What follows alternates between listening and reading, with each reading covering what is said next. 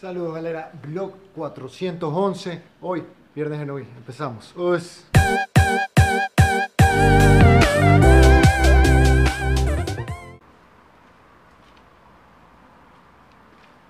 Bueno, vamos terminando esta semana que ha estado fuerte. Fuerte diferente al de la semana pasada. La semana pasada definitivamente mis músculos colapsaron. No podía moverme, por eso no pude entrenar. Esta semana ya pude entrenar, así que se cumple ese dicho que todos me mencionaban, que la primera semana es la peor. Como buen viernes de Nogi, nos pegamos esa sesión de luchas. El tren de la una estuvo completamente maldito, brother. No les puedo explicar. Eh, hicimos el calentamiento, comenzamos con parciales, como 20 o 30 minutos más o menos, y luego, eh, no sé, tres luchas de 7 minutos cada una. Brother, antes de eso, de 12 a 1, había hecho ejercicio, piernas. Viernes, circuito del viernes. Ah.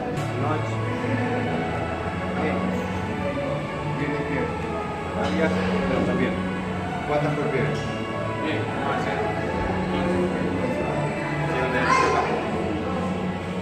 15. Igual de la abertura, la puntura que hacia afuera. Y la rodilla va hacia afuera. Sube. Extiendes y bajas. Y la, y la llega al suelo. ¿ya? Que llegue, toque y no que repose. ¿Ya? Siguiente. 15, ¿aquí cuántas? 15. 15. Siguiente. Eh, pisas. Y al de que se extendía hasta que haya que suelo. Así. Haces. 15. Venimos para acá. Te acá. Reposa la, la, la fuerza acá. Siente ahí. Bien. Por último. Para acá. Mira que aquí. Mira aquí, mira que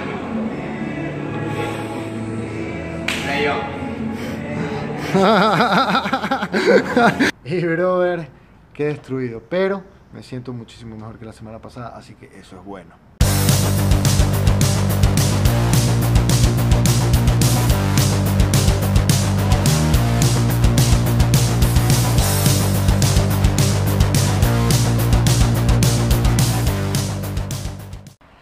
El tema del día de hoy viene por sugerencia de Víctor Ramírez, espero no equivocarme con el nombre, pero igual ahí les dejo el post para que lo puedan ver, vean bien el nombre. Y es qué se necesita o qué le falta al Jiu-Jitsu o por qué el Jiu-Jitsu no es un deporte olímpico. Esa es la pregunta de él y me parece muy bacán y es una pregunta que yo también digo o me hacía bastante.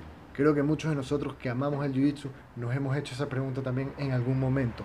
Obviamente yo no puedo eh, dar una contestación que sea la verdad absoluta porque eh, de- desconozco, te puedo dar mi interpretación, mi opinión. Y es la siguiente.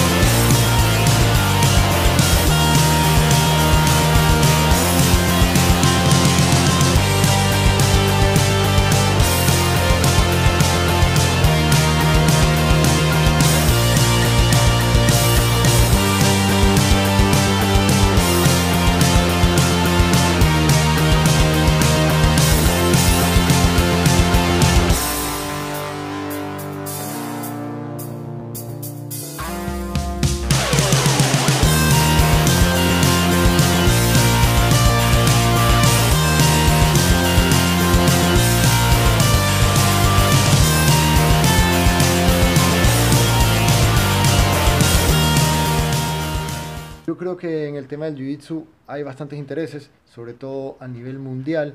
Este, las organizaciones más grandes, más importantes que promueven torneos y ese tipo de cosas son organizaciones con fines de lucro, son empresas, son negocios. Entonces para mí ese siempre ha sido como que el gran pero.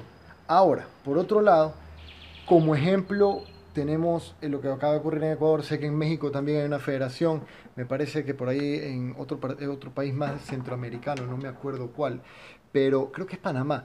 En todo caso, hay algunos países que ya tienen sus federaciones. Así que por ahí va la respuesta de qué se puede hacer para lograrlo. Yo tampoco sé exactamente cuál es el proceso para nominar a un deporte a que se vuelva eh, olímpico, a que se lo considere como un deporte olímpico, pero creo que si ya hay una organización a nivel estatal de, los de este deporte en diferentes naciones, no sé, en algún gran porcentaje de las que pertenecen al Comité Olímpico, entonces obviamente no habría por qué no incluírselo, ¿no? La cosa está en que alguien tome la iniciativa y diga, ¿sabes qué? Hagamos esto. ¿Cómo se la tomó aquí en Ecuador eh, y se logró la Federación Ecuatoriana de en Jiu-Jitsu? Este, que, como les decía, lo mismo que pensaba a nivel internacional, también pensaba que aquí localmente no se iba a hacer, porque cada uno armaba sus eh, torneos y tiene su academia, pero a la hora de la hora, ahí te das cuenta y esa es la prueba de que hay personas que realmente pueden dejar a un lado el negocio, la cosa personal y tratar de velar y buscar el mejor interés del deporte a nivel local, a nivel nacional.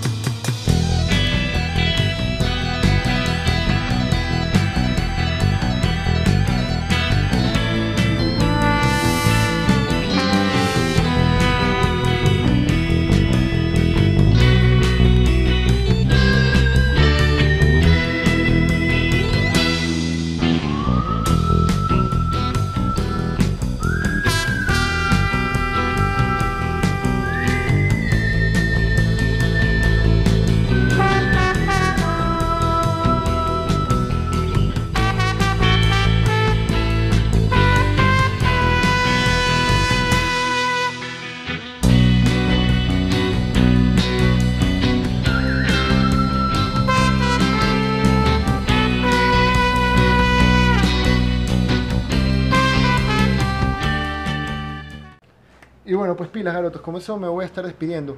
No se olviden de chequear la página del Instagram de VIS. Están ya casi que rematando su último stock. Se viene la nueva colección, así que pilas. Esta gorra y este modelo también, últimas en stock, así que pueden ir pidiéndolas de una vez, no se queden sin ellas. Este modelo de aquí eh, lo voy a estar sorteando, creo que lo voy a estar sorteando, todavía no le he preguntado a ellos si me dan permiso para hacerlo, pero no creo que me van a decir que no. La voy a estar sorteando, así que chequen el Instagram de VA Tripping para que estén al tanto. Esta semana me imagino que les avisaré cómo pueden hacer para ganársela. Así que pilas. Para la gente que me pregunta qué significa pilas, pilas es más o menos atento, para bola, presta atención. Pilas que se viene ese sorteo. Por ahora va a ser solamente a nivel Ecuador. Les pido disculpas a mis amigos fuera del país pero eh, por temas de envío, logística y todo eso, lo vamos a hacer de esa forma esta vez. Pero igual, síganos en Instagram y estén tantos de todas las noticias de VA Tripping. Ahora sí, me voy a despedir. Qué calor que está haciendo Guayaquil. Nos vemos.